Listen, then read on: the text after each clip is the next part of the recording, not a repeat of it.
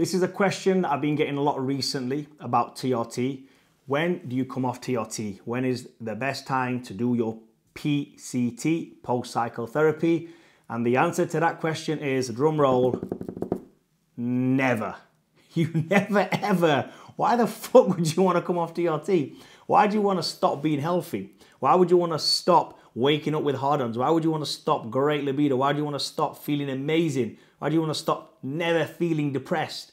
Why would you want to stop all of these things? It's absolutely ridiculous. It's criminal to come off TRT. Let's think about what TRT is first.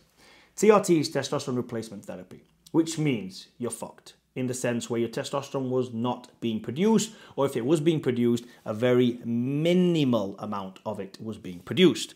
So, therefore, you needed to inject or to take orally a substitute or a top up, if, if you want to call it, something that made you feel like a man again testosterone. Remember, this isn't steroids.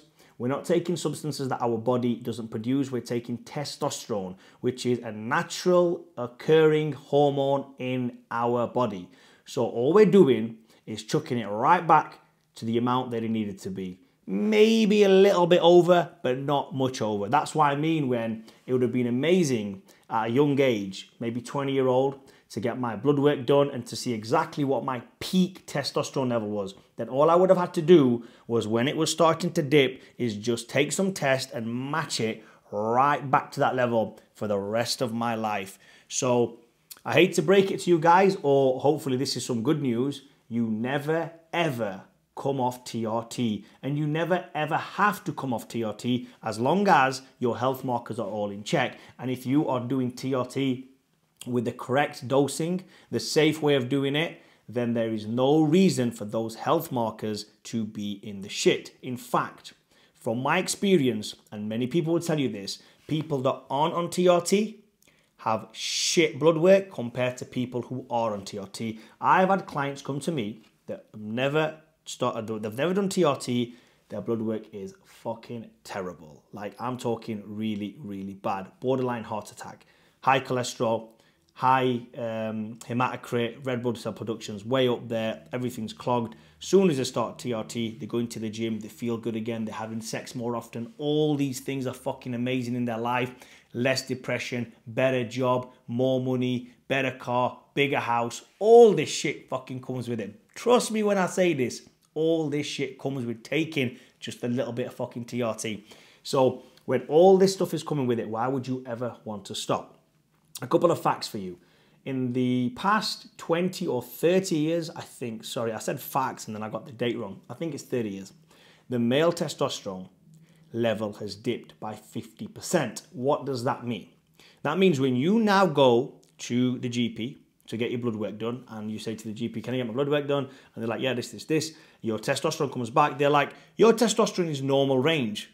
But that's normal range to everyone else out there. When you've got some fat fuck sat on his couch playing God of War, eating a Subway sandwich, and does fuck all that sit there, get fat, and play computer games and collect his fucking check every single week, they are comparing you a guy who's going to the gym every single day, the guy who's doing cardio every single morning, who's living an active, healthy lifestyle, who's eating a really good diet. They're comparing your testosterone to his and they're saying yours is normal because his is normal. He is the new norm. That fat guy, have you ever seen South Park? You know, there's in South Park, I don't know if you remember it, there's this like computer geek and he's sat there, he's big belly, he's eating his Cheetos all fucking hair messed up, big fucking zits on his face, and he's like the, the troll.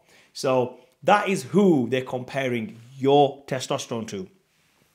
I am not that fucking guy, dude. I am not that fucking guy. So I need my testosterone back. Just what my body produced, I'm taking my testosterone back. That's it. Nothing more, definitely nothing less.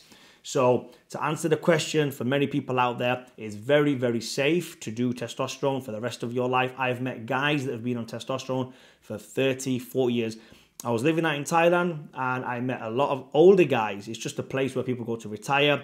Partly the reason is because the visa is free. Wait, what? It's not free. It's like a um, if if you're over 50, basically, you don't need to get a visa. You can just go to the country and you get like you can get what's called a retirement visa. Sorry, you get a retirement visa in Thailand free of charge, and you can just live out your days chilling, shagging girls on the beach day and night. And I speak to guys out there, and they are in phenomenal shape. I met a guy who was 78 or almost 80 years old, phenomenal shape. And I said, What you been taking? He told me exactly what he was doing. He was on test and he'd been on it for 30 years. He said he used to compete back in the day. He's very similar to me, only he's a lot older than me, more than double my age. And I just said to him, Bro, I would love to just get to your age, let alone look like that. And I asked him, and he said, I've got three girlfriends. I'm having sex with them on a daily basis. It's not that, it's not what the thing to brag about, but I'm just explaining to you that a guy his age is having sex three times a day.